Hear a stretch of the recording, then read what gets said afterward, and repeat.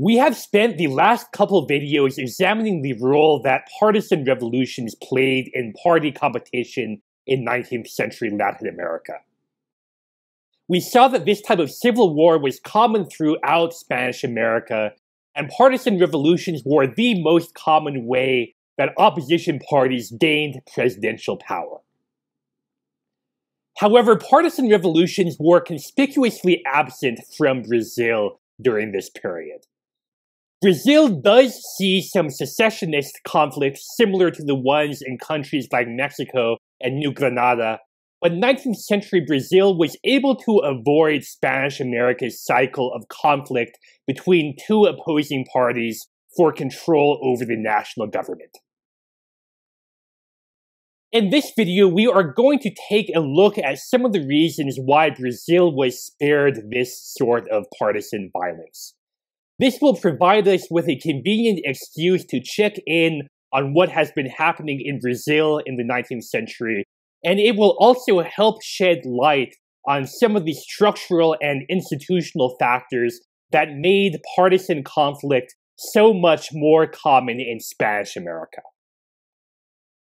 I am going to argue that the main reason why Brazil is able to avoid partisan revolutions was because it had a political system that facilitated bipartisan power sharing in a way that most Spanish American countries did not.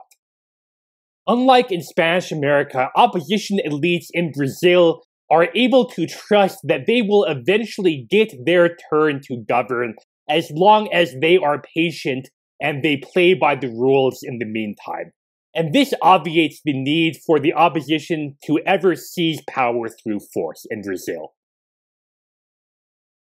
The key institutional difference between Brazil and Spanish America after independence was that every Spanish American country became a presidential republic, while Brazil remained a parliamentary monarchy throughout most of the 19th century. Brazil is the only monarchy in Latin America that lasts for more than a decade. Under a presidential republic, power is divided between separate executive and legislative branches that are both elected by voters. The leader of the executive branch, the president, also serves as both the head of state and the head of government. But under a parliamentary monarchy, the head of state and the head of government are two separate people, the monarch and the prime minister, respectively. Neither figure is directly elected by the people, and the people vote only for a member of parliament to represent them, though the prime minister is supposed to be accountable to the parliament in some way. In parliamentary democracies nowadays, the prime minister and the cabinet are chosen by the parliament, so voters have at least an indirect say in who the prime minister will be. Though historically, the prime minister would be appointed at the discretion of the monarch, and this was still the case in countries like the German Empire, the Kingdom of Italy, and Brazil in the 19th century. The reason why a monarchy survives in Brazil was due to the rather unusual way that Brazil's War of Independence played out during the 1820s. During the Napoleonic invasion of Portugal in 1807, the Portuguese royal family had taken refuge in Brazil, and they remained in Rio de Janeiro even after the Napoleonic Wars were over. As a result, the Portuguese royal family was still physically present in Brazil when the War of Independence breaks out in 1822. And the Crown Prince Pedro is able to salvage the situation by becoming the leader of the independence movement that is directed against his own father, King João IV of Portugal. And Pedro ends up getting crowned as emperor of a fully independent empire of Brazil. Not everyone in Brazil wants to be part of this highly centralized empire, and there are various secessionist conflicts and regional revolts during the 1820s. So in the end, only Spanish-speaking Uruguay is able to break away from Brazil permanently. Nevertheless, Emperor Pedro has become weary from all of this opposition to his rule, and he finally abdicates the throne in frustration in 1831. but this abdication does not lead to a republic. Instead, the throne passes to his five-year-old son, Pedro II or Pedro II. Brazil's constitutional system stabilizes during the young emperor's minority, and by the time that Pedro II reaches adulthood, the conflicts that marred his father's reign are largely over. All of the major players accept their role in Brazil's constitutional order. The regional powers accept that they are now part of this centralized Brazilian monarchy. The parliament accepts that Brazil's constitution grants the monarch considerable powers, and Emperor Pedro II accepts that Brazil is a constitutional monarchy, and there are serious constitutional constraints that limit what he is allowed to do. The Constitution of 1824 explicitly describes the emperor as the poder moderador, the moderating power. The emperor's constitutional role is to maintain a balance between all of the other actors in Brazil's political system. The emperor is basically a referee who is supposed to stay above the fray and serve as a nonpartisan and impartial higher authority who can resolve political disputes and keep the other branches of government working together. And Pedro II takes this idea of the poder moderador to heart, and he makes it the mission of his reign to diffuse conflict in Brazil's political system. A good example of one of the ways the Emperor Pedro does this is through the selection of prime minister. Under the 1824 constitution, the parliament can dismiss the prime minister through a vote of no confidence, but the emperor has broad discretion in choosing who the new prime minister will be. Brazil has two political parties at this time, a liberal party and a conservative party, and Emperor Pedro is careful to alternate the position of prime minister between the two parties on a fairly regular basis in order to ensure that each party gets its fair chance to govern. This largely eliminates any need for a partisan revolution in Brazil because the opposition party knows that its turn will come around eventually and it only needs to wait for the emperor to swap out the parties and government again. Moreover, trying to seize power early through a revolution would be completely counterproductive because Emperor Pedro is not going to reward politicians who resort to such behavior by making them prime minister. Pedro II wants everyone else in the political system to play by the rules and get along with each other and the way that you become prime minister under this system is to prove to the emperor that you are a team player. This leads to a second difference in how Brazil's parties govern that contrasts sharply with the situation in Spanish America. In a conventional Westminster style parliamentary system like the one in Britain, the prime minister would draw support mainly from his own political party. So if the prime minister is a conservative, the legislative majority that keeps him in office would normally come only from the conservative party. But in Brazil during this era, we see prime ministers form very broad legislative majorities that include members of both the conservative and liberal parties. This is because Brazil's political system gives the prime minister an incentive to work with members from the opposition party. The prime minister is the leader of one of the two parties, and he needs to keep his own party happy as well. But he ultimately depends on the emperor's support for his job, and Pedro II wants a prime minister who has broad support in parliament and who is able to cooperate with the other party. In some cases, prime ministers in Brazil end up leading a grand coalition government that includes both parties in the cabinet.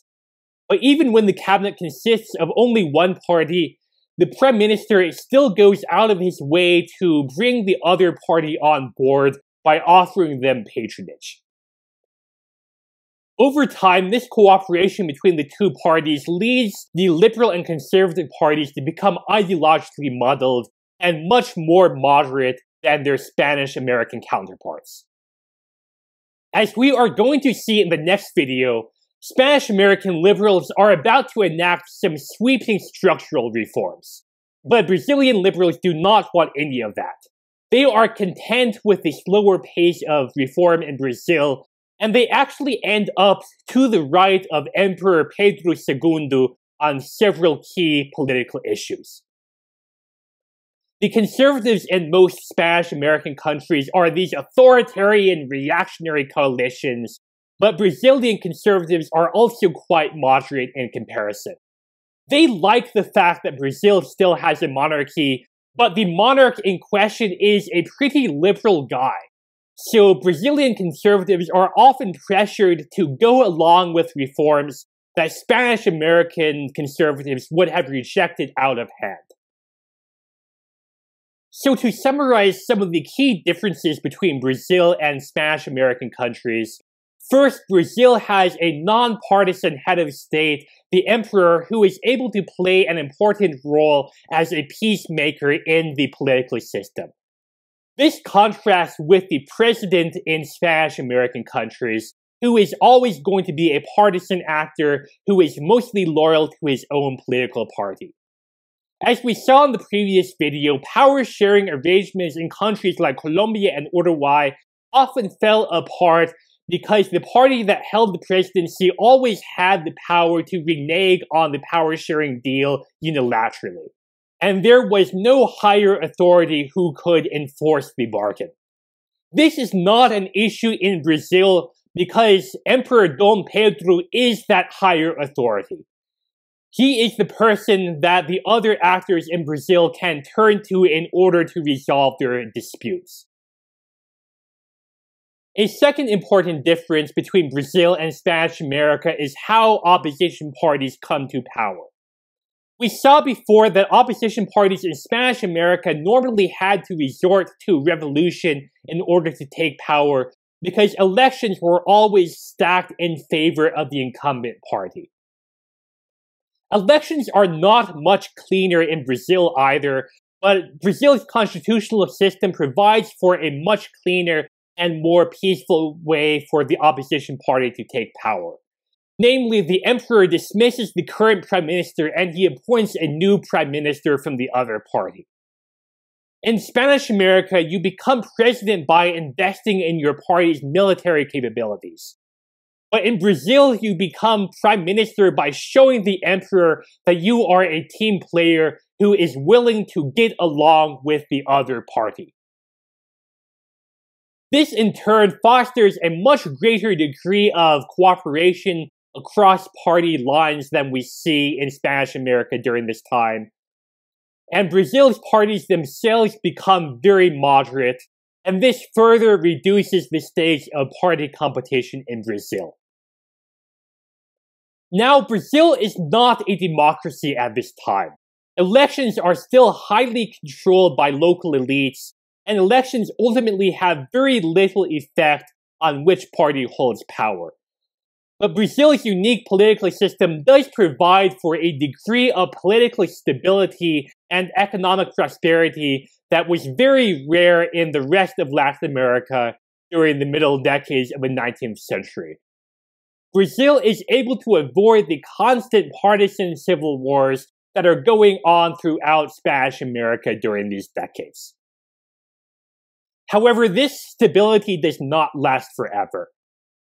The monarchy's base of support among the aristocracy and local elites starts to erode quite rapidly during the 1880s. There were a number of reasons for this, but the most important had to do with the abolition of slavery. By the mid 1880s, Brazil is the only country in the Western world where chattel slavery is still legal. Most of the people in the royal family consider themselves abolitionists, including Emperor Pedro I and Emperor Pedro II. But they were hesitant to do much of anything about slavery out of fear that this would be viewed as monarchical overreach and a violation of the Constitution. Under Brazil's constitution, such matters were supposed to be the prerogative of Parliament, and Parliament was filled with a bunch of slave owning aristocrats who wanted slavery to remain legal. However, in 1887, Pedro II travels to Europe for medical treatment, and he leaves his daughter and heir apparent, Princess Isabel, to govern as regent. Isabel does not share her father's hesitation about intervening in the legislative process for the purpose of abolishing slavery, and she puts together a new cabinet that is filled with abolitionists. And in 1888, the princess and the cabinet strong armed the parliament into finally abolishing slavery in Brazil. This has the effect of alienating many of the plantation owning aristocrats who had formed a core base of support for the monarchy throughout all of these years. These aristocrats are furious that they now have to free their slaves without receiving any monetary compensation, and they make it clear to Pedro II upon his return to Brazil later that year that they are never going to accept Isabel as empress after Pedro dies. Many of these plantation owners also flock to Brazil's growing Republican movement. They are convinced that the monarchy has betrayed them, and they now want the monarchy gone. A year later, in 1889, Brazil's monarchy is overthrown in a Republican military coup. This coup does not have very broad support in Brazilian society, but it succeeds at toppling the monarchy mostly because the royal family decides not to fight it. They do not want there to be a civil war between royalists and republicans, and so they agree to go into exile in Europe. Brazil's monarchy comes to an end, and the first Brazilian republic is established.